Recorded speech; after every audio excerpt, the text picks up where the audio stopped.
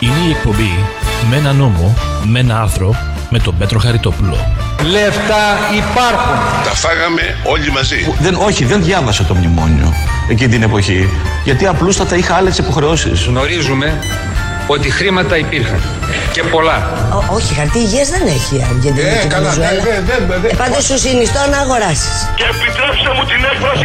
Ξεραίνουν και το σκατό τους. Go back, κυρία Μέρκελ. Το μνημόνιο είναι ευκαιρία για τον τόπο. Είναι ευτυχία για τον Ή τόπο. με την Ελλάδα ή με τη Βαβαρία. Πλαστογραφούσαν τα γκάλοπ και βγάζανε μηδέν λεβέντης.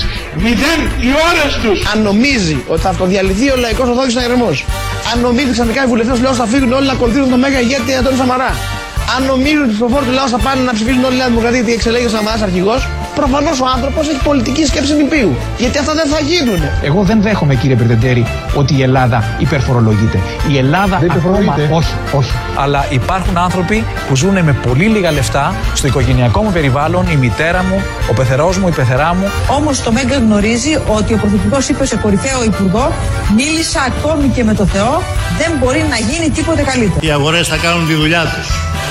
Θέλουν να κερδίζουν, αυτός είναι ο στόχος τους, γι' αυτό είναι φτιαγμένες. Εμείς όμως πρέπει να βάλουμε την πολιτική πάνω από τις αγορές. Δεν θα τις αγνοήσουμε. Αλλά θα τους δείξουμε τον εναλλακτικό δρόμο που θα αναγκαστούν να ακολουθήσουν. Διότι εμείς θα βαράμε τον ταούλι και αυτές θα χορεύουν. Δεν θα παίζουν αυτή το ζουρνά για να χορεύουμε εμείς καθόπως σε όποιο σκοπό αυτές θέλουν. Λοιπόν, εγώ ήμουν πολιτικός κρατούμενος 6 μηνών από τη Χούτα. Είναι η κατάργηση με ένα νόμο και σε ένα άρθρο όπως ακριβώς τα ψηφίσατε προχθές όλων των μέτρων λιτότητας που εξαθλιώνουν την κοινωνία και γεννούν ακόμα μεγαλύτερη ύφεση.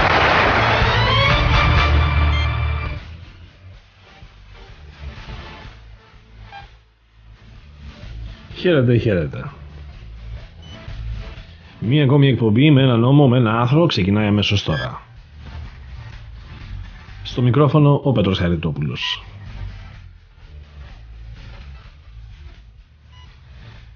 Να θυμίσουμε τους ε, τρόπους με τους οποίους μπορείτε να ακούτε αυτήν την εκπομπή. Για εσάς που μας ακούτε εδώ από την ευρύτερη περιοχή της Νέας Υόρκης, μας ακούτε μέσα από τον Ελλάς FM στους 97,2. Το μεγαλύτερο ελληνικό ραδιόφωνο της Ομογένειας. Το Ελλάς FM μπορείτε να ακούτε φυσικά μέσα και από το website του στο elasfm.us μέσα από τα applications για τα τηλέφωνά σας και φυσικά μέσα από την πλατφόρμα του Ελλάς TV. Η εκπομπή μας μεταδίδεται και στην Ελλάδα, στην ε, ιδιαίτερη πατρίδα μου, την αγάπη μου, την Πιερία, την Κατερίνη μέσα από το ράδιο ενημέρωση 92,2. Και φυσικά να πούμε πως η εκπομπή μας φιλοξενείται και στο πόρταλ του ανάλυσε.com εκεί όπου μπορείτε να ακούσετε την εκπομπή οποιαδήποτε στιγμή και ώρα της ημέρας.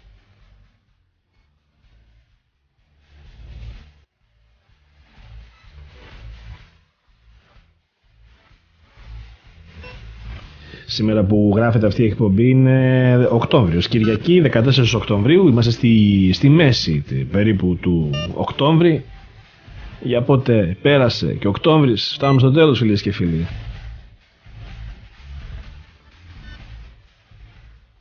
Λοιπόν, σήμερα έχουμε καλεσμένο στην εκπομπή ε, και είναι καλεσμένος για πρώτη φορά στην εκπομπή μας. Είναι ο κύριος Σπύρος Λαδιώτης, ο οποίος είναι οικονομολόγος, είναι, ήταν πρώην στέλεχος της Τράπεζας του Καναδά, με μεγάλη εμπειρία στα χρηματοοικονομικά, ε, με εκπαίδευση εδώ στον Καναδά, κοντά μας. Α, και με κάποια άρθρα που μπορείτε να βρείτε τα τελευταίο καιρό έχουν εμφανιστεί πολλά άρθρα του Σπύρου Λαδιώτη στο διαδίκτυο που έχουν πάρα μα πάρα πολύ μεγάλο ενδιαφέρον. Αυτό ήταν ε, ο λόγος έτσι που μας κέντρισε το ενδιαφέρον και αποφασίσαμε να καλέσουμε τον κύριο Λαδιώτη στην εκπομπή γιατί πραγματικά η συζήτηση μαζί του θα έχει πολύ μεγάλο ενδιαφέρον. Στην άλλη άκρη της τηλεφωνικής μας γραμμής έχουμε τη χαρά να φιλοξενούμε για πρώτη φορά στην εκπομπή τον κύριο Σπύρο Λαδιώτη, ο οποίος είναι οικονομολόγο, ήταν πρώην στέλεχος της Κεντρικής Τράπεζας του Καναδά, με μεγάλη εμπειρία στα χρηματοοικονομικά. Κύριε Λαδιώτη, σας ευχαριστώ πάρα πολύ για τον χρόνο που θα διαθέσετε να μιλήσετε στην εκπομπή μας. Ε, Και εγώ σας ευχαριστώ και τους ε, χαιρετισμούς μου στους ακροατές σας. Σα να είστε καλά. Ε, θέλουμε λίγο τη βοήθειά σας αρχικά να καταλάβουμε το εξής. Α, πριν μερικούς μήνες υπήρξε έτσι ένας μεγάλος, ε, μια μεγάλη έτσι προσπάθεια γιορτής να το πω από πλευρά της Ευρωπαϊκής Ένωσης, της, Ευρωπαϊ... της Ευρωπαϊκής Κεντρικής Τράπεζας, του ελληνικού κράτους ότι τελειώσαν τα μνημόνια για τη χώρα, η χώρα επανέρχεται στην κανονικότητα, θα βγει στις αγορές, και όλα αυτά. Σήμερα βλέπουμε τις τράπεζες για μια ακόμη φορά να καταραίουν, βλέπουμε το δεκαετές να έχει πάρει την ανηφόρα. Γιατί συμβαίνουν όλα αυτά ενώ πήγε τόσο καλά το πρόγραμμα;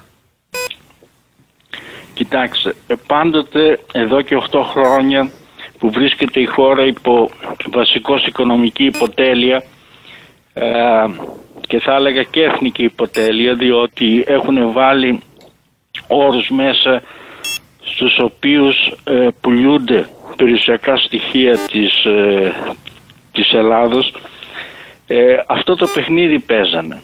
Από την αρχή ε, μεταδώσανε στο κοινό βασικά στο διεθνές κοινό αλλά και στο ελληνικό κοινό ότι το πρόβλημα της Ελλάδος ήταν δημοσιονομικό. Και επήλθε λόγω της ε, ασωτείας των Ελλήνων να δαπανούν, είναι τεμπέληδες και ζούσαν πέρα το δυνατήτων. Αυτό πέρασε σε όλο τον κόσμο. Αυτή δεν, ήταν η πραγμα... δεν είναι η πραγματικότητα. Είναι ένα μικρό κομμάτι το τι συνέβη στη χώρα και βρισκόμαστε σε αυτή την κατάσταση. Είχε καταρρεύσει το όλο το χρηματοπιστωτικό σύστημα της Ευρωζώνης. Και αυτό είναι πολύ δύσκολο να το μεταδώσεις στο αμερικανικό κοινό και στους Έλληνες οι οποίοι ζουν εκεί επειδή η Αμερική έχει το δικό της νομισματικό σύστημα και το δικό της νόμισμα έχει το δικό της πρόεδρο, έχει το δικό της προϋπολογισμό και ένα προϋπολογισμό ο οποίος είναι 20 φορές μεγαλύτερος από τον προϋπολογισμό της Ευρωπαϊκής Ένωσης. Και η Ελλάδα δεν έχει το δικό της νόμισμα. Το ευρώ είναι ένα ξένο νόμισμα. Διότι δεν μπορεί να εκδώσει η χώρα το χρέος της σε δικό της νόμισμα σε περίπτωση που βρίσκεται σε, σε μια έκτακτη ανάγκη. Όπως κάνει η Αμερική. Με αποτέλεσμα όταν κατέρευσε το σύστημα το ευρωπαϊκό το νομισματικό επειδή το ευρώ είναι ένα ενιαίο νόμισμα για όλους οι δικές μας τράπεζες επλήγησαν άσχημα ιδίως από το 2008 όταν κατέρευσε φτώχευσε η Lehman Brothers εκεί συμπαρέσυρε και το ευρωπαϊκό σύστημα αλλά ιδίως τις δικές μας τράπεζες οι οποίες ήταν πάρα πολύ εκτεθειμένες σε Βαλκάνια και σε σχέση με το μέγεθος της οικονομίας. Δηλαδή είχαν δάνεια περίπου 500 δισεκατομμύρια ευρώ με μία μετοχική βάση γύρω στα 25 δισεκατομμύρια. Η κρίση τους έπιασε εξ, εξαπίνης. Δεν μπορέσαν να αντιδράσουν με αποτέλεσμα αμέσως η τότε κυβέρνηση Καραμαλή το 8 να περάσει ειδικό νόμο ανακεφαλοποίηση των τραπεζών όπως την ίδια εποχή είχε περάσει, αν θα θυμάστε στην Αμερική, το, το πρόγραμμα, το, το Τραμπ. Ε, δεν ήταν το πρόγραμμα των 700 δισεκατομμυρίων Ναι. που δόθηκε για... Ναι, σωστά. Λοιπόν, έτσι αυτό το πρόγραμμα ήταν ένα διαφανές πρόγραμμα το οποίο ήταν ξεκάθαρο τι χρήματα δοθήκαν στις τράπεζες τότε που ήταν ε, η, και η Citibank και η, η, η AIG και τα λοιπά και τα λοιπά και ήταν ξεκάθαρο πέρασε ψηφίστηκε από το κογκρεσο Αυτό δεν μπορεί να γίνει στην Ελλάδα, στην, στην Ευρώπη γιατί δεν υπάρχει δημοσιονομική ομοσπονδία Μάλιστα. να πάρει την ευθύνη. Ούτε υπάρχει τραπεζική ένωση τόσο ώστε να επιμεριστούν οι ζημιές και να πάνε σε- ε, εκεί στα μέρη δηλαδή στις τράπεζες οι οποίες ανήκουν σε διάφορες χώρες. Με αποτέλεσμα όλες αυτές οι ζημιές επειδή οι ελληνικές τράπεζες ήταν εκτεθειμένες σε γαλλικές και γερμανικές τράπεζες ιδίως, να τις πάρει να ψηφίσουν μόνοι τους. Τότε ήταν μυστικό, δεν το είχαν εκδώσει την απόφαση ότι η χώρα η οποία ε, έχει τις τράπεζες που χρωστάνε στις άλλες τράπεζες της Ευρωζώνης έχουν έδρα την Ελλάδα το κράτος θα αναλάβει αυτές τις ζημιές. Με αποτέλεσμα να φτάσουμε σε ένα σημείο να μπουν μέσα στους προπολογισμούς της χώρας περίπου σε αρχική βάση 28 δισεκατομμύρια το οποίο είναι πάρα πολύ μεγάλο με το ακαθάριστο εθνικό προϊόν της χώρας. Έτσι να σκεφτείτε ότι τα 28 δισεκατομμύρια εκείνη την εποχή το 8 ήταν το 12% το καθαρίστου εθνικού προϊόντος. Στη συνέχεια αυτά τα χρέη συσσωρεύτηκαν και ξεπέρασαν το 100% του ακαθαρίστου εθνικού προϊόντος. Κάτι το οποίο ήταν αδύνατο η, η χώρα να αντέξει. Με αποτέλεσμα Εν τω μεταξύ κυριαρχούσε στο διεθνή τύπο ότι όλο αυτό είναι δημοσιονομικό χρέος. Όχι. Βαπτίστηκαν αυτά τα χρέη δημοσιονομικό χρέος. Ήταν τραπεζικά, δεν ήταν δηλαδή του Έλληνα. Ο Έλληνας είχε ένα, ένα χρέος από την αρχή. Ε, κακή διαχείριση, ε, κακοδιαχείριση δημοσιονομική, η οποία όμως ήταν 70 δις. Και καταλήξαμε στη συνέχεια να μας δώσουν δάνεια 326 δις. Αυτά είναι δηλαδή όταν προσθέσετε τα μνημόνια, το πρώτο μνημόνιο το, το Μάιο του 2010 είναι 110 δις. Στη συνέχεια του 12 το δεύτερο μνημόνιο, το λεγόμενο PSI που έγινε το κούρεμα των ομολόγων κτλ. είναι 130 δις, το οποίο βασικά βγήκε στα 142 δις.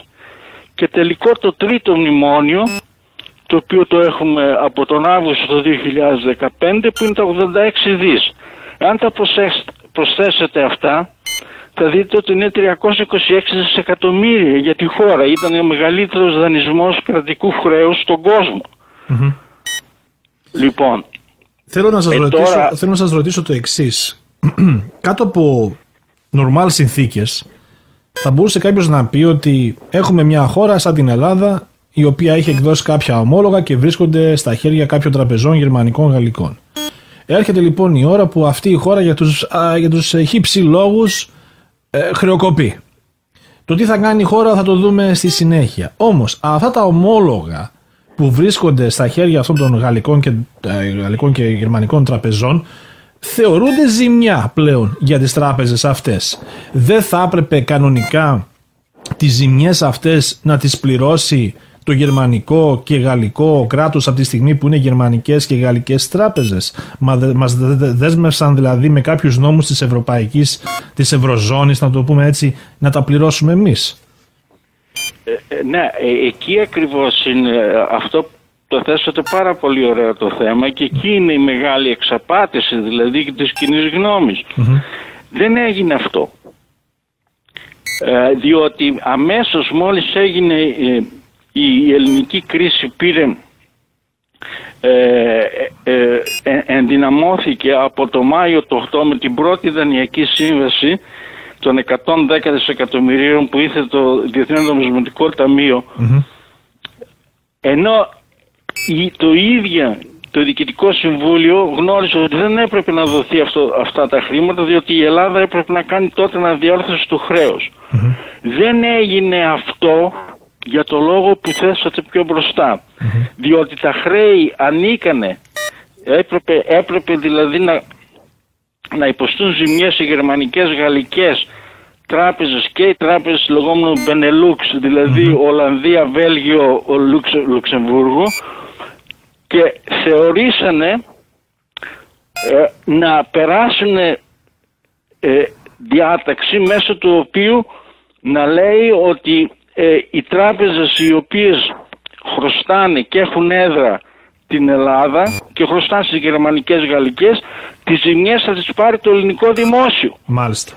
Και για να επιτευχθεί αυτό κύριε Χαρτόπουλο τι γίνεται; Αμέσως την ίδια ημερομηνία μόλις δηλαδή έγινε η υπογραφή του Α Μνημονίου 10 Μαΐου 2010 αμέσως παρεμβαίνει η Ευρωπαϊκή Κεντρική Τράπεζα και βγάζει ανακοίνωση και λέει ότι θα αγοράζω, θα μπω στην αγορά, στην ανοιχτή αγορά, δηλαδή παραβίασε τους ίδιους τους κανονισμούς τους. Διότι όπως ξέρετε η Ευρωπαϊκή Κεντρική Τράπεζα δεν είναι ίδια, ίδια με το Fed.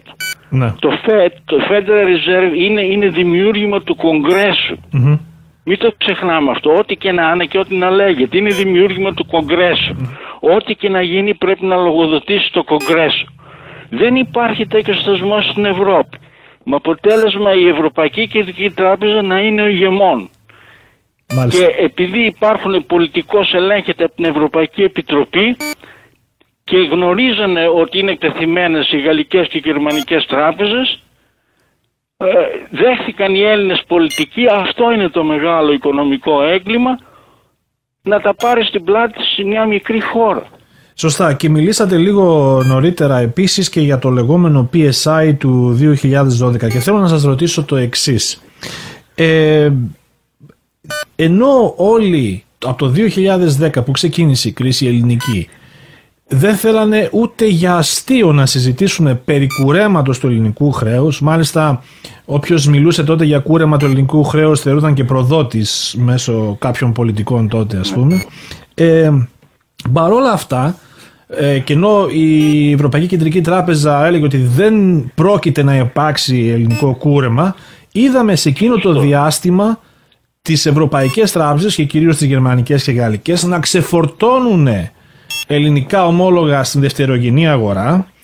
Ε, ελληνικά ομόλογα βέβαια που λίγανε όλα εκεί κάπου το Φεβρουάριο του 12 ε, αρχίσαν να τα ξεφορτώνουν στην δευτερογενή αγορά και να τα αγοράζει η Ευρωπαϊκή Κεντρική Τράπεζα στο 20-30% αν δεν κάνω λάθος της τιμής τους. Και όταν ήρθε η ώρα του κουρέματος του PSI α, ε, κάποιοι θεωρηθήκαν δημόσιοι φορείς όπως η Ευρωπαϊκή Κεντρική Τράπεζα και εξαιρέθηκε από το κούρεμα. Τα πήρε πίσω η Ευρωπαϊκή Κεντρική Τράπεζα στο 100%. Έβγαλε και κέρδος δηλαδή από την ελληνική κρίση. Και, Πολύ μεγάλο. Και κάποιοι δημόσιοι δημόσιες υπηρεσίες όπως ε, ας πούμε οι συντάξεις στην Ελλάδα ε, τα, τα ταμεία μας δεν θεωρήθηκαν δημόσιο και κουρεύτηκαν. Υπάρχει πολλοί κόσμος όμως ταυτόχρονα που θεωρεί το PSI σαν μια πολύ μεγάλη ευκαιρία για την Ελλάδα η οποία χάθηκε. Λένε ούτε λίγο ούτε πολύ ότι μας κουρέψαν το χρέος και εμείς δεν κάναμε τις μεταρρυθμίσεις και ξαναβρεθήκαμε σήμερα στην ίδια κατάσταση. Είναι αυτή η αλήθεια; Κοιτάξτε, αυτή είναι η, η πιο ε, λαθασμένη εκτίμηση διότι δεν συνάδει η άποψη αυτή με τους πραγματικούς αριθμούς. Διότι το PSI έγινε να, ε, με τέτοιο τρόπο και τέτοια πολυπλοκότητα ούτως ώστε να μπορέσει να συγκαλύψει το ίδιο έγκλημα το τραπεζικό το οποίο είχε μεταβαστεί στην Ελλάδα από το 2010 γιατί το PSI πήρε μορφή το Μάρτιο του 2012. Το τι έγινε κύριε Χαριτόπουλο είναι το εξής. Ότι το PSI συνοδεύεται από μια δανειακή σύμβαση 130 δισεκατομμυρίων τα οποία τα 130 δισεκατομμύρια τελικά φτάσαν στα 142 δισεκατομμύρια. Δηλαδή θα λάβανε χώρα αυτό το κούρεμα των ελληνικών ομολόγων υπό την προϋπόθεση ότι η Ελλάδα θα έπαιρνε αυτό το δάνειο. Ναι. Ε, οπότε με το κούρεμα το οποίο έγινε, τι συνέβη; Αρχικώς ναι μεν συνολικά μειώθηκε το χρέος 106 δισεκατομμύρια, ταυτόχρονα όλο αυτό καλύφθηκε από νέα δάνεια που πήρε η Ελλάδα για να δοθεί είτε ως sweetener, δηλαδή γλυφιτζούρι στους, ε, στους επενδυτές, το οποίο ήταν ένα ποσό ε, 30 δισεκατομμυρίων, το οποίο πέρασε στον ελληνικό προπολογισμό. Στη συνέχεια δοθήκαν άλλα 62 δισεκατομμύρια οι νέες Έτσι, στους, στους κατόχους των, των των ε, ε, ε, παλιών ελληνικών ομολόγων. Λοιπόν, άρα προσθέστε 62 και 30, ως τώρα έχουμε 92. Επίσης, δώσαν στους παλαιούς μετόχους άλλα 5 δισεκατομμύρια τα οποία τα πλήρωσε όλα αυτά μπήκαν στο ελληνικό δημόσιο. Έτσι γιατί πληρώθηκαν με χρήματα του EFSF τότε, δηλαδή του λεγόμενου του μηχανισμού του σημερινού μηχανισμού ε, ε, ε, στήριξης ε, της ε, Ευρωπαϊκής, είναι όλης της Ευρωπαϊκής, της Ευρωπαϊκής Ένωσης, αλλά είναι το λεγόμενο ESM, ε, το, το λεγόμενο Ευρωπαϊκός Μηχανισμός Στήριξης, έτσι, ο οποίος ε, αυτός μας δάνεισε και τα οποία τα δάνεια μπήκαν στον ελληνικό προϋπολογισμό. Μάλιστα. Οκ, στη συνέχεια τι έγινε; Για να μπορέσει να είναι επιτυχές το PSI αναγκάστηκε η ελληνική κυβέρνηση να μεταβάλει να μεταβάλει τον νόμο και να τα θέσει τα καινούργια ομόλογα στο αγγλικό δίκαιο. Δηλαδή έγινε μετατροπή ενώ το 80% του χρέους ήταν στο ελληνικό δίκαιο ε, και τα νέα δάνεια ήταν στο αγγλικό δίκαιο ούτως ώστε να μην μπορέσουν σε περίπτωση που πηγαίναμε σε εθνικό νόμισμα να γίνει ε, κατευθείαν ε, ε, ε, ξεχρέωση του χρέους με ελληνικές δραχμές.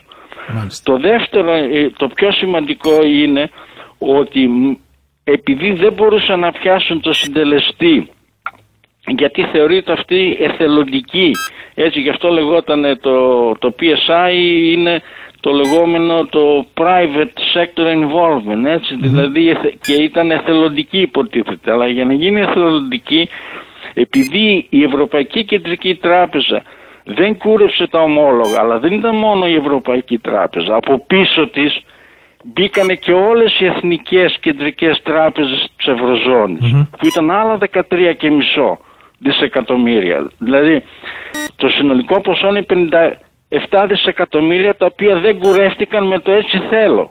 Μάλιστα. Εντελώς αυθαίρετα. Μάλιστα. Αυτά δεν κουρεύτηκαν καθόλου. Αυτά ήταν, αποτελούσαν περίπου το 27% όλου του, του, ο- ο- όλου του πακέτου.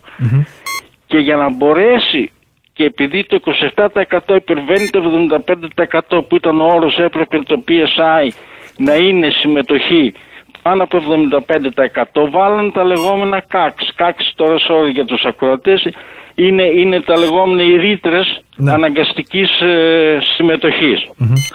Οκ. Αυτά παρέσυρε τα δικά μας ασφαλιστικά ταμεία. Εδώ είναι το μεγαλύτερο τραγικό πράγμα.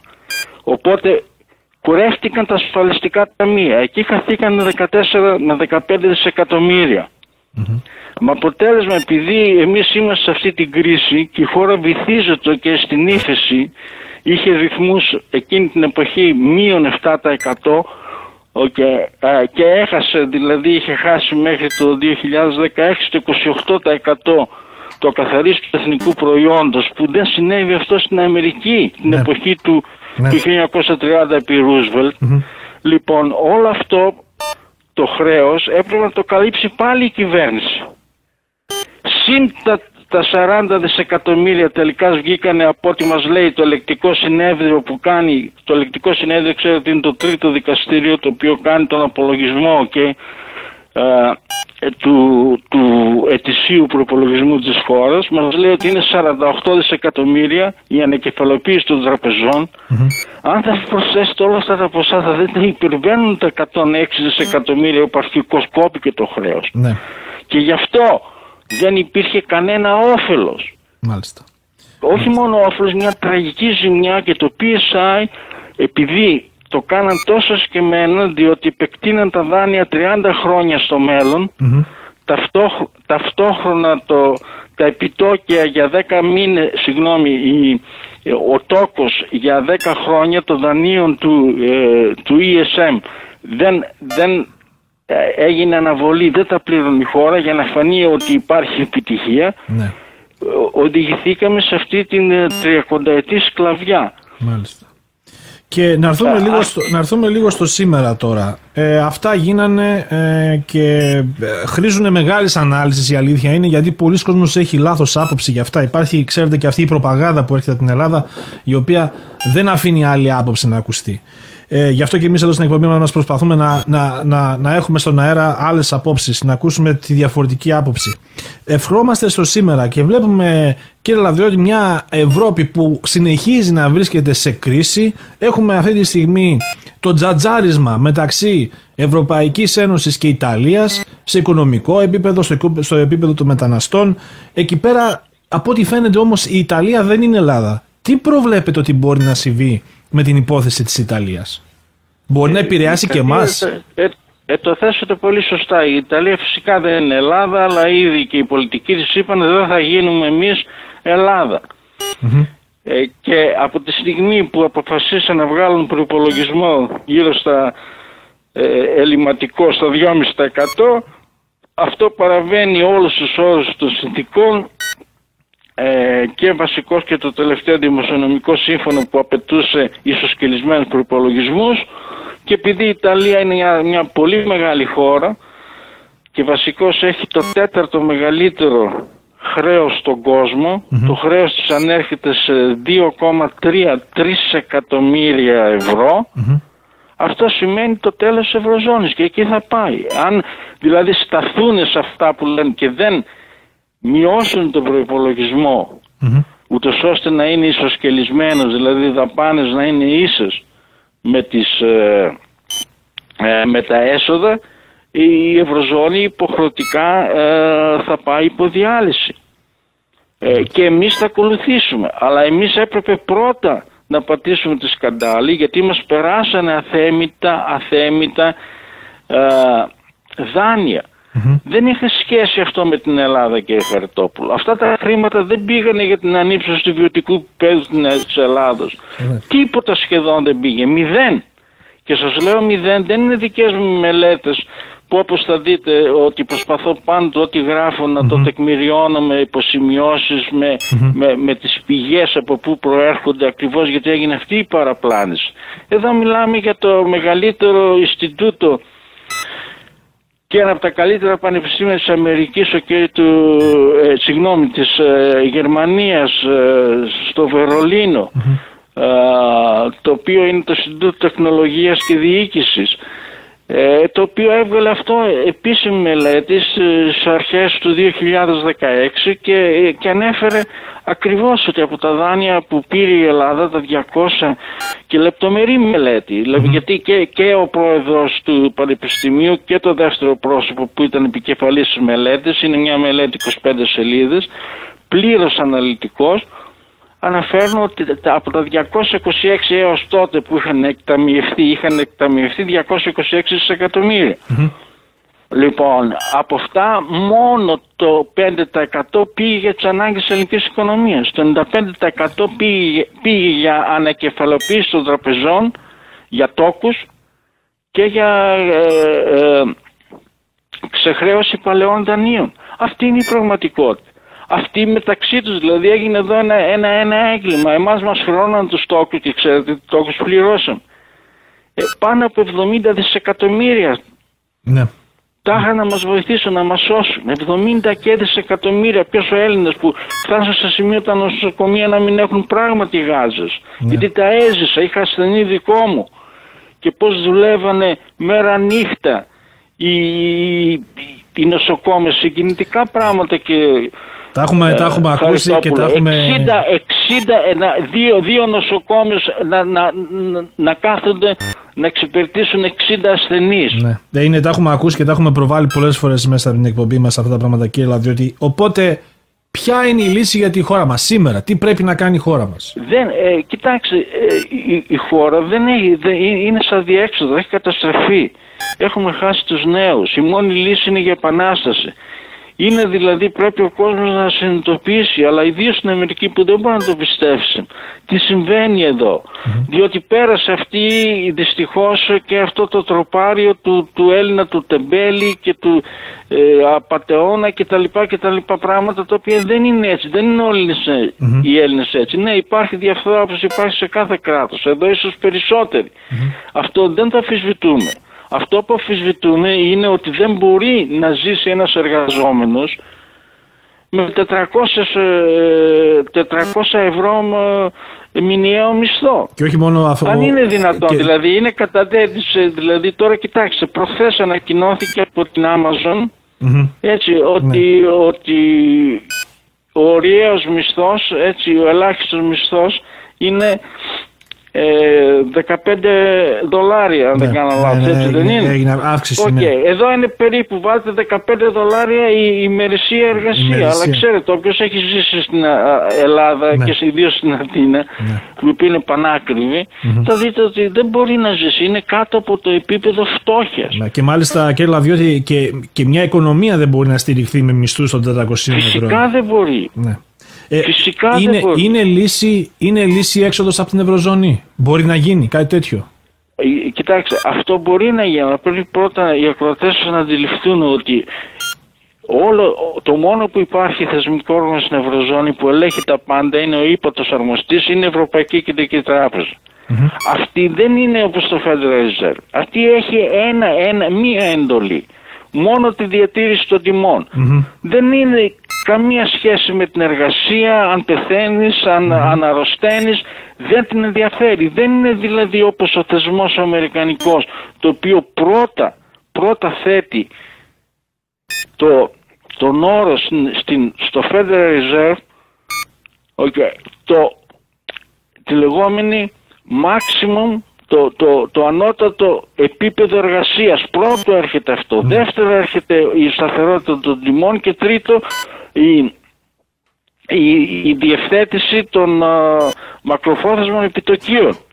Δεν υπάρχουν αυτά τα πράγματα. Δεν τους ενδιαφέρει. Λοιπόν, ε, ο- οπότε δεν υπάρχει καμία λύση, διότι είναι ενιαίο νόμισμα, η χώρα είναι υποπτώχευση και τώρα δεν μπορεί, παραδείγματος χάρη, ένα άτομο από τον Καναδά για να έρθει εδώ, που είναι το Καναδέζικο και λέω γιατί έζησα εκεί τόσα χρόνια και εργάστηκα, α, ε, να, να έρθει εδώ όταν το καναδέζικο δολάριο είναι 1,5 1,5 καναδέζικο με ένα ευρώ. Ναι. Πώς θα φέρει την οικογένειά του να δει την Ελλάδα; Σωστά. Είναι, το, το ζούμε κι εμείς από εδώ, από την Αμερική. Το ταξίδι στην Ελλάδα πλέον είναι επένδυση ολόκληρη. Ε, οπότε είπατε λίγο πιο πριν ότι η έξοδος από την Ευρωζώνη είναι κάτι που μπορεί να γίνει. Μπορεί όντως Ναι, να γίνει αυτή την εποχή. Υπάρχουν ε, οι προϋποθέσεις για κάτι τέτοιο; Βεβαίως, είναι απλώς, απλώς ε, ε, να υπάρχει πολιτική βούληση, η οποία δεν υπάρχει. Γι' αυτό είμαστε σε αδιέξοδο. Να σας ρωτήσω κάτι. Δεν, δεν είναι η πρώτη χώρα, κοιτάξτε κύριε Χαριτόπουλο, δεν είναι η πρώτη χώρα που είναι υποπτώχευση. Ναι. Έτσι, δεν σε αφήνουν να πτωχεύσεις για να ακριβώς για να σε, σε, αν μπορώ να χρησιμοποιήσω τη λέξη, να σε αρμέγουν με τους τόκους. Γιατί αυτά που βλέπετε τα πλεονάσματα που λένε, όταν λέμε πλεόνασμα, μια χώρα η οποία έχει αυτή την, την τεράστια οικονομική ύφεση, ακόμη είμαστε στο μείον 25% το καθαρίστου του εθνικού προϊόντος σε σχέση με το 2008, και σου λένε πλεόνασμα. Τι σημαίνει πλεόνασμα; Σημαίνει ότι η δημόσια, τα δημόσια έσοδα, δηλαδή η φορολογία, βασικός που είναι ο, ο κύριος παράγοντας των δημοσίων εσόδων, είναι μεγαλύτερη από τις δαπάνες του κράτους. Αυτό το ποσό η διαφορά που είναι ακριβώς 7 δισεκατομμύρια, το 3,5% πάει κατευθείαν έξω στους πιστωτές, στους δανειστές για δάνεια τα οποία δεν οφείλονται στην Ελλάδα. Οπότε αυτό αμέσως μπορείς δηλαδή, να κάνεις στάση πληρωμών. Υπάρχουν, υπάρχουν θεσμικοί παράγοντες, είναι το άρθρο 44 του συντάγματος, αρκεί να το θέλει. Να το θέλει η, η εκάστοτε κυβέρνηση, η οποία είναι στην, στην εξουσία. Δηλαδή, το, το Υπουργικό Συμβούλιο κατευθείαν σε συνεννόηση με τον πρόεδρο της Δημοκρατίας κηρύσσει τη χώρα σε κατάσταση ανάγκης και κάνει στάση πληρωμών ό,τι είχε κάνει ο Ρούσβελτ και κάνει το λεγόμενο μορατόριο. Δεν μπορούν να σε πετάξουν έξω από την Ευρωζώνη. Αυτά που λένε όλα είναι ανυπόστατα. Δεν υπάρχει νομικό πλαίσιο εξόδου από τη ζώνη του ευρώ. Λοιπόν, εκεί θα είσαι. Δηλαδή δεν πρόκειται να πας σε εθνικό νόμισμα. Θα, ε, ε, αλλά μόλις κάνεις σε στάση πληρωμών προς τους δανειστάς, έχεις χρήματα να ζήσεις γιατί αυτό το πλεόνασμα δεν θα φεύγει πλέον έξω. Να ζήσεις την οικονομία σου και τότε αρχίζεις και διαπραγματεύεσαι. Και ξέρουν ότι εμείς έχουμε τη βόμβα, αυτό το χρέος το οποίο μας το πήγαν τώρα μέχρι το 2060 που δεν θα ζει α, οι περισσότεροι. Είναι απίστευτα πράγματα. Πάντως, Αυτά ε, και το είχε γράψει κάποτε δεν- η Wall Street ότι, ότι εάν δεν φύγετε από την και η New York Times αν δεν φύγετε από το ευρώ και θα είστε 200 χρόνια ε, χρεωμένοι. Μμμ. Ε, υπάρχει όμως, ε, ξέρετε, μεγάλος φόβος, έχει δημιουργηθεί ένας πολύ μεγάλος φόβος σχετικά με την έξοδο από το ευρώ και αυτό ε, εν μέρη διότι όπως βλέπουμε από εδώ από την Αμερική ε, στην, στα μέσα μαζικής ενημέρωσης της Ελλάδας δεν, ιδίως στα μεγάλα δεν υπάρχει μια δεύτερη άποψη. Η άποψη είναι ότι εάν τυχόν τολμήσουμε και κάνουμε κάτι τέτοιο μέχρι και τα ψάρια του Αιγαίου θα ψοφήσουν και θα βγουν στη στεριά όλα. Ε, θέλω να σας ρωτήσω το εξής. Μα, μα, μα, μα πώς συνδέονται αυτά ε, τα ε, είναι, τα έχουμε ακούσει όλα πλέον. Ε, θέλω να σας ρωτήσω το εξής. Πέστε μου, πέστε μου ένας λογικός άνθρωπος. Πώς μπορεί να το συνδέσει ναι. okay, το νόμισμα ότι θα έρθουν και οι Τούρκοι και θα μας κατακτήσουν; Ναι, ναι. Ε, προφανώς ε, το νόμισμα έχει και ιδιότητε μοιράζ, η F16. Μα είναι το αντίθετο, διότι ναι. τότε θα έχουμε το δικό μα νόμισμα και θα πάρουμε και πολεμοφόδια, θα πάρουμε και πλοία, θα βάλουμε τις μηχανές, ό,τι κάνει η Αμερική και αυτό, θα κόψει νόμισμα. Αυτό είναι που θέλω να σας ρωτήσω. Τώρα δεν μπορούμε να πάρουμε τίποτα. Αυτό είναι που θέλω να σας ρωτήσω, διότι ο πρώτος φόβος και το πρώτο πράγμα που ακούσα από την προπαγάνδα είναι ότι αν τυχόν φύγουμε από, την, από το ευρώ και αποκτήσουμε το δικό μας νόμισμα, το νόμισμα αυτό δεν θα έχει καμία αξία, άρα θα είναι πληθωριστικό χρήμα. Άρα για να πάμε να αγοράσουμε ένα καρβέλι ψωμί θα χρειαζόμαστε μια σακούλα χρήματα. Αυτό... αυτά είναι υποθέσεις του αέρος, συγγνώμη. Δηλαδή αυτά δεν έχουν καμία υπόσταση. Ειλικρινά, διότι από τη στιγμή που, που κόβεις το δικό σου νόμισμα και κατευθείαν το κάνεις αποδεκτό ε, ως, ως το μόνο νόμισμα το οποίο γίνονται πληρωμές των φόρων τελειώνει, έχει και υπόσταση και τώρα δεν έχουμε κανένα, κανένα ε, έλλειμμα ε, πρωτογενές ε, και θα βάλουμε τη βιομηχανία και θα κάνουμε αυτό που έκανε ο ρουσβελτ Αυτά κάναν και στο Ρούσβελτ τη μεγάλη αυτή προσωπικότητα η οποία κυβέρνησε την Αμερική επί 12 χρόνια αλλά ήταν πατριώτης, αγάπησε την Αμερική και τον αγάπησε οι αμερικανοι και άφησε την τελευταία του πνοή στο Λευκό Οίκο. Ναι. Έτσι και από κάτω το γνωρίζει. Γι' αυτή ήταν τόσο μεγάλη προσωπικότητα. Και βγήκε τότε το 1933 στην, στην ενακτήριο ομιλία του τον ορκίστηκε πρόεδρος και είπε το περίφημο το μόνο πράγμα που έχετε να φοβηθείτε είναι ο φόβος ναι. και πετέθηκε κατά των τραπεζών και έκλεισε όλες τις τράπεζες και μετά από έξι μέρες έκανε την νομοθεσία υπάρχουν ολόκληρα σκηνικά των Αμερικάνων που αγαπουσαν την Αμερική mm-hmm. οπότε μπήκανε 100 βουλευτές του Δημοκρατικού Κόμματος και ψηφίσανε ένα, δεν είχαν τότε ηλεκτρονικά έντυπα κτλ. Ένα κείμενο και το οποίο αμέσως το ψηφίσανε, ήταν ο νόμος έκτακτης ανάγκης. Όλοι μαζί. Ε, Μέσα σε μια ατμόσφαιρα έντονα συναισθημάτων μέχρι τα ξημερώματα και κλείσαν τα πάντα και μετά από, από, από 7 μέρες όταν άνοιξαν ε, ε, οι τράπεζες και έδωσε, έδωσε το, το εντολή στο Federal Reserve να, να αποπληρώσει όλες τις ομολογίες αμερικανικές στο 100% σε par value της αξίας τους και όταν άνοιξε η Wall Street έκανε ακόμη δεν έχει σπάσει το ρεκόρ αυτό. Ναι. 15% και Χαρτόπουλα ανέβηκε ο Dow Jones σε μία μέρα. Ναι. Αυτά τα λέω για τους φίλους μου τους Έλληνες της Αμερικής. Καλά, καλά σε τα μία μέρα 15%. Καλά τα λέτε. Μιλήσατε ή αναφέρατε τις τράπεζες. Σε μία περίπτωση εξόδου από το ευρώ τι θα συμβεί με τις τράπεζες και τι μπορεί να συμβεί με τα κόκκινα δάνεια κύριε Λαβιώτη γιατί πολλοί κόσμος είναι, είναι εγκλωβισμένος μέσα στα κόκκινα δάνεια και κινδυνεύει να χάσει το σπίτι του. Διότι ένα άλλο πράγμα που ακούμε είναι ότι εάν τυχόν φύγουμε από το ευρώ ε, θα έχουμε ακόμα να πληρώσουμε το δάνειό μας στο στεγαστικό σε ευρώ άρα δεν θα μπορούμε να το πληρώσουμε άρα θα μας το πάρει η τράπεζα και θα χάσουμε τα σπίτια μας. Δεν ισχύει τίποτα από αυτά τα πράγματα. Όλα αυτά όταν θα φτάσεις σε αυτό το σημείο. Όπως είπαμε, δεν, πάμε, δεν πας στο κενό, δεν μπορείς να πας στο κενό. Εδώ είναι ένα τεράστιο μπλέξιμο νομικό. Δεν μπορείς να φύγεις από το ευρώ. Το μόνο που μπορείς να, να κάνεις, η μόνη διάταξη που υπάρχει και στη νέα συνθήκη της Λισαβόνου, αυτό που σας το λέω, διότι είναι, είναι άρθρα, είναι το άρθρο 50, το οποίο σου λέει ότι μόνο μπορείς να φύγεις από την Ευρωπαϊκή Αλλά αυτό για να φύγεις από την Ευρωπαϊκή Ένωση και αναφέρω και, και, και, και το άρθρο της συνθήκης, είναι το άρθρο 50, πρέπει να κάνεις εσύ αίτηση και αφού περάσουν δύο στη συνέχεια να εξεταστεί και να υπερψηφιστεί από τα δύο τρίτα των μελών της Ευρωπαϊκής Ένωσης για να σε αφήσουμε να φύγεις. Παράδειγμα δηλαδή και αυτά που σας λέω πόσο είναι, είναι συμβατά με την πραγματικότητα. Δεν τι συμβαίνει με την, ε, με τη Βρετανία, με την, ε, συγγνώμη, με την Αγγλία, Ναι. με το Brexit. Πόσα χρόνια. Το 2016 αποφασίσαν να φύγουν. Είμαστε στο 18 και ακόμη δεν μπορέσαν να φύγουν. Και το πρόβλημα δεν είναι της Αγγλίας ε, το, το νόμισμα γιατί ανέκαθεν ποτέ διότι γνωρίζαν ποτέ δεν μπήκαν στο ευρώ και έτσι σωθήκανε. Έτσι. Άρα ε, δεν, δεν μπορούν να γίνουν όλα αυτά που λένε δεν είναι αναλυθεί, πλήρως αναλυθεί. Το θέμα του, και του, του, του νομίσματος είναι ότι αρχικώς θα είσαι στο ευρώ και θα διαπραγματευτείς. Όλα τα δάνεια αμέσως, αμέσως θα γίνουν ε, κατευθείαν σε σε δραχμές, ένα προς ένα θα γίνει η πρώτη, η πρώτη ανταλλαγή.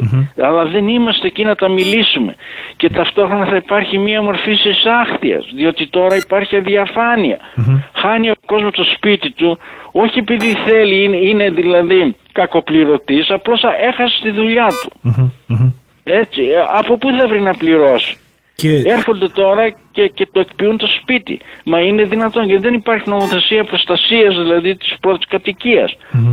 Και θέλω να σας ρωτήσω λοιπόν, και το εξής. Όλα αυτά, αλλά δεν φτάσαμε, είμαστε πολύ μακριά γιατί δεν υπάρχει στη Βουλή, στην Ελληνική Βουλή, κανένα κόμμα αυτή τη στιγμή okay, το οποίο να αντιπροσωπεύει όπως στην, στην Ιταλία, γι' αυτό προχώρησε η Ιταλία, οι πέντε αστέρες πήραν 34% του κόσμου. Εδώ δεν υπάρχει τίποτα. Γι' αυτό είμαστε αντιέξοδο και, και η κατάσταση είναι θλιβερή και είμαστε σε, σε απόγνωση δηλαδή. αυτό, αυτό όμως πραγματικά πώς το εξηγείτε, διότι στα, στις διάφορες δημοσκοπήσεις που γίνονται το ποσοστό των ανθρώπων που βλέπουν με αρνητικό μάτι την Ευρωπαϊκή Ένωση και την Ευρωζώνη αυξάνει, παρόλα αυτά η αντιπροσώπευση αυτών των ανθρώπων στη Βουλή δεν υπάρχει.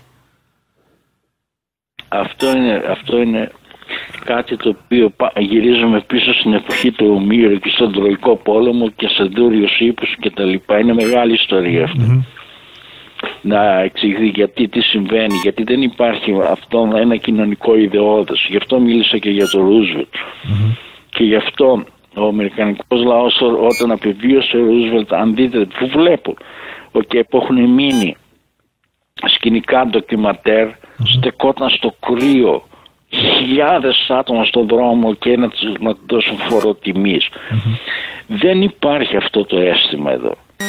Υπάρχει, υπάρχει ένα πρόβλημα ε, ε, κοινωνικού ιδεώδες. Ο ένας απαιτείται στον άλλον. Είναι, είναι, είναι, είναι ένα μυστήριο φαινόμενο γιατί έχω ζήσει και έχω ξοδέψει εκατοντάδες ώρες αυτά τα πράγματα. Δεν, ε, ε, ε, είναι ακατανόητο. Αυτός είναι ο λόγος που δεν υπάρχει εκπροσώπηση. Μάλιστα. Κύριε Λαβδιώτη, σας ευχαριστώ πάρα πολύ για το χρόνο που διαθέσατε. Η συζήτηση είχε πάρα πολύ ενδιαφέρον και εύχομαι να μπορέσουμε να τα πούμε και στο κοντινό μέλλον ξανά. OK, okay, και εγώ χάρηκα και αφήσαμε, αφήσαμε πολλά ερωτήματα να πάει, έχουμε πολλά ερωτήματα για σας και έχουμε ε, να τα πούμε. το θέμα είναι ότι δεν μπορείς να καλύψεις όλα αυτά ένα τόσο μεγάλο θέμα διότι απλώς όταν όλα αυτά επί τόσα χρόνια σε πηγαίνανε μια στο καρφί μια στο πέταλο παραπλάνηση ότι βγαίνεις από την Ευρωζώνη και ε, όλα αυτά τα πράγματα ενώ ταυτόχρονα αυτό ούτε μπορείς να βγεις στις αγορές διότι αυτή τη στιγμή είναι 4,5% τα, τα ε, ελληνικά ομόλογα τα επιτόκια ενώ τώρα που είσαι αυτά τα δάνεια τα οποία παίρνεις από το ESM από το μηχανισμό στήριξης στον ευρωπαϊκό είναι στο 2% δηλαδή πας για αυτοκτονία. Όλα αυτά ε, δυστυχώς Πώς είναι δυνατόν ένα απλός άνθρωπος εκεί να το ξέρει; Απλώς είναι η διέστηση του απλού ανθρώπου που λέμε για θάνατη ελληνική ψυχή που καταλαβαίνει κάτι δεν πάει καλά, κάτι που τον κοροϊδέψαν πάρα πολύ άσχημα. Μάλιστα. Λοιπόν κύριε Λαβιό σας ευχαριστώ πάρα πολύ. Και εγώ. Να είστε καλά. Πάρα πολύ. Γεια σας. Να είστε χαιρετισμούς σε όλους. Γεια σας. Γεια σας. Είναι η εκπομπή με ένα νόμιμο με ένα άρθρο. Στο μικρόφωνο ο Πέτρος Χαριτόπουλος. Ακούσαμε λίγο πριν τη συζήτηση που είχαμε με τον κύριο Σπύρο Λαδιώτη, οικονομολόγος και πρώην στέλεχος της Τράπεζας του Καναδά. Σίγουρα η συζήτηση είχε πάρα πολύ μεγάλο ενδιαφέρον και σίγουρα έχουμε αφήσει και πολλά αναπάντητα ερωτήματα ε, για την επόμενη φορά, φαντάζομαι. Κάπου εδώ φτάνουμε στο τέλος για σήμερα. Στο μικρόφωνο ήταν ο Πέτρος Χαριτόπουλος. Μέχρι την επόμενη φορά να είστε όλοι σας καλά. Γεια σας. Η εκπομπή με ένα νόμο, με ένα άρθρο, με τον Πέτρο Χαριτόπουλο. Λεφτά υπάρχουν. Τα φάγαμε όλοι μαζί. Δεν, όχι, δεν διάβασα το μνημόνιο εκείνη την εποχή. Γιατί απλούστατα είχα άλλες υποχρεώσεις. Γνωρίζουμε ότι χρήματα υπήρχαν. Και πολλά. Ό, όχι, χαρτί υγείας δεν έχει η Αργεντινή. Ε, και η καλά, Βενεζουέλα. δεν- δεν- δεν- δεν- Ε, Πάντως σου συνιστώ να αγοράσεις. Και επιτρέψτε μου την έκφραση. Ξεραίνουν και το σκατό τους. Go back, κυρία Μέρκελ. Το μνημόνιο είναι ευκαιρία για τον τόπο. Είναι ευτυχία για τον Ή τόπο. με την Ελλάδα ή με τη Βαβαρία. Βλαστογραφούσαν τα γκάλοπ και βγάζανε μηδέν λεβέντης. Μηδέν οι ώρες τους. Αν νομίζει ότι θα αυτοδιαλυθεί ο λαϊκός οδό να ηρεμό. Αν νομίζεις ξαφνικά οι βουλευτές του λαού θα φύγουν όλοι να ακολουθήσουν τον Μέγα ηγέτη Αντώνη Σαμαρά.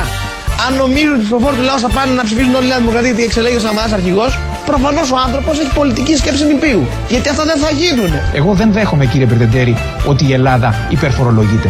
Η Ελλάδα ακόμα. Όχι, όχι. Αλλά υπάρχουν άνθρωποι που ζουν με πολύ λίγα λεφτά στο οικογενειακό μου περιβάλλον, η μητέρα μου, ο πεθερός μου, η πεθερά μου. Όμως το Μέγκα γνωρίζει ότι ο Πρωθυπουργός είπε σε κορυφαίο υπουργό, μίλησα ακόμη και με το Θεό, δεν μπορεί να γίνει τίποτε καλύτερο. Οι αγορές θα κάνουν τη δουλειά τους.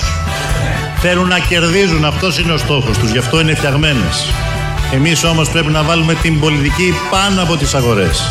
Δεν θα τις αγνοήσουμε, αλλά θα τους δείξουμε τον εναλλακτικό δρόμο που θα αναγκαστούν να ακολουθήσουν. Διότι εμείς θα βαράμε τον ταούλι και αυτές θα χορεύουν. Δεν θα παίζουν αυτή το ζουρνά για να χορεύουμε εμείς καθόπως σε όποιο σκοπό αυτές θέλουν. Λοιπόν, εγώ ήμουν πολιτικός κρατούμενος 6 μηνών από τη Χούτα.